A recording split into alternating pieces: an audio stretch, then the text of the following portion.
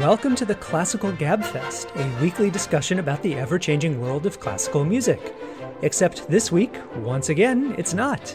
I'm your host, William White, and my co hosts, that's Tiffany Liu and Kensho Watanabe, and I are still all scattered doing all sorts of summer stuff that makes it too hard for us to schedule a call. So this week, once again, we have something different. As regular listeners will know, once a month we play a round of Name That Tune, which we also call Stump the Hosts. This is easily the most popular feature of our show among our most hardcore users.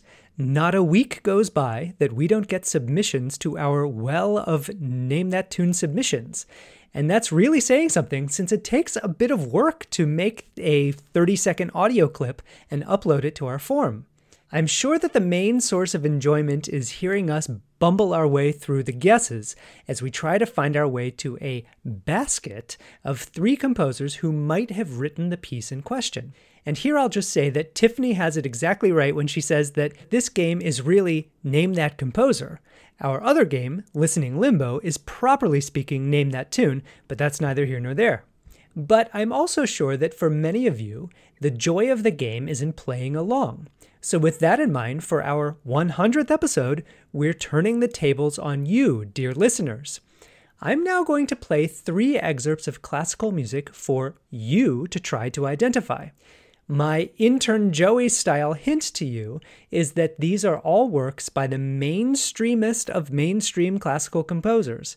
And I'm not even going to pull a schwindel on you by using Juvenilia or something like that. These were written in these composers' prime earning years. Now, if you want to play by the house rules, you'll only listen to each excerpt one time. You can take notes while you're listening, and you should certainly pause for reflection after each one. But I'll just say that when we play the game, we only listen one time. That's for realsies. And obviously, no Googling or Shazamming, because where would the fun be in that? To play the game, send us an email to classicalgabfest at gmail.com with your best guesses. And remember, you can have three guesses in your quote unquote basket for each excerpt. And you can also include any analysis or thoughts that you had along the way. We'll reveal the answers on our episode two weeks from now. And what do you get if you win? I don't know. Bragging rights, public acknowledgement, Early in the podcast, we used to do a thing where we would invite listeners onto the show to play a game with us. It was not a very popular feature. Uh, it seems that you all much prefer to try to stump us from a distance. But if you get two out of your three baskets with the correct composer named, you are welcome to come on the show and play a game of your choosing with us if, if that uh, floats your boat. Okay, with no further ado, here is the first Name That Tune, aka Stump the Listeners excerpt. This one, I would say, is the easiest. Some of you might even recognize it just by listening.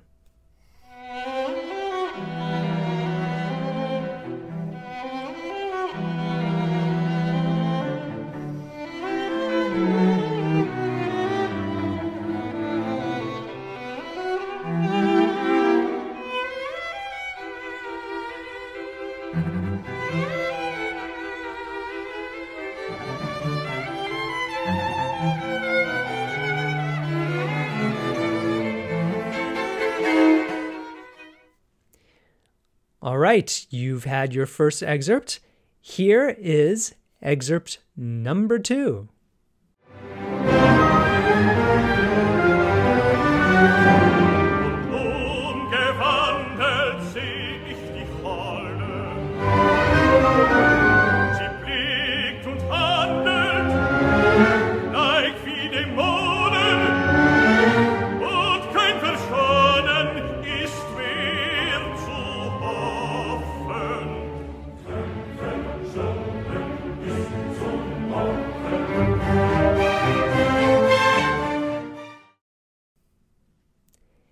And finally, here is the third stumper, and this one I would say is the most stumpalicious. The composer is definitely somebody who you know, but there's much about this excerpt that obfuscates uh, naming that person. So good luck.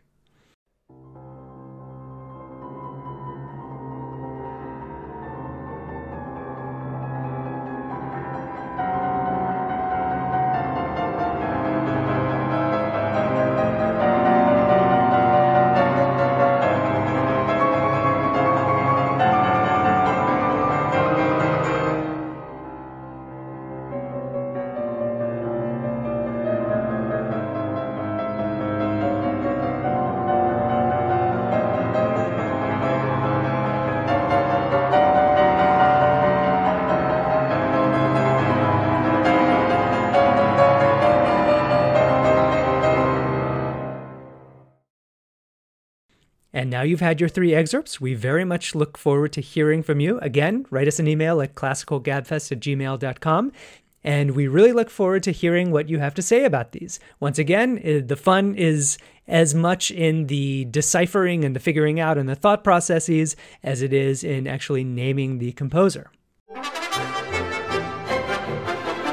And with that, it's time to wrap up this episode of the Classical Gabfest. I'm William White, and on behalf of Tiffany Liu and Kensho Watanabe, I'd like to thank you so much for listening and to encourage you to subscribe and rate us on your podcast app. We'd also love your help spreading the word about the show on social media, where you can find us on Facebook, Twitter, and Instagram. You can reach us at classicalgabfest at gmail.com, and we'd love to hear from you. Until next time, happy listening, and we'll be with you next week.